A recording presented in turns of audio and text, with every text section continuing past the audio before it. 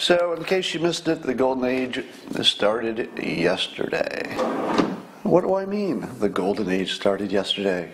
The economy is in the toilet, and the protesters are protesting record numbers against the injustices of the police.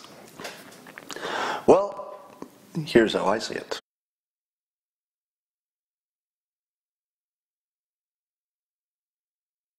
The economy is on the way up.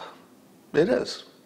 Economy's, the economy is going to be turning around, no doubt about it. We don't know how fast, etc., but it's definitely going to go up from this point on.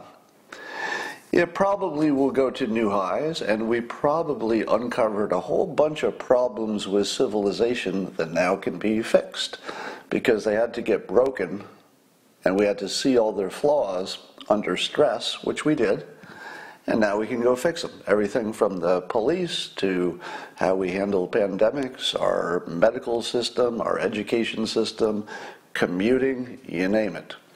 If we had not taken the box of civilization and shaken it so hard, there would not be as many economic opportunities as there will be.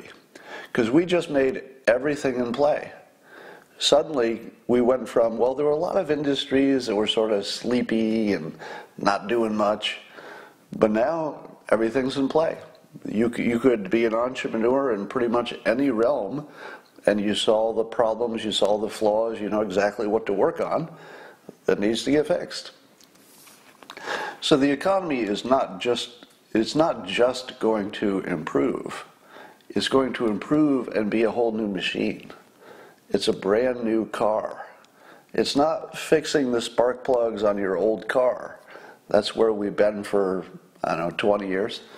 For 20 years, I would say we've done nothing but change the oil and rotate the, the tires. Uh, we're going to have a brand new car.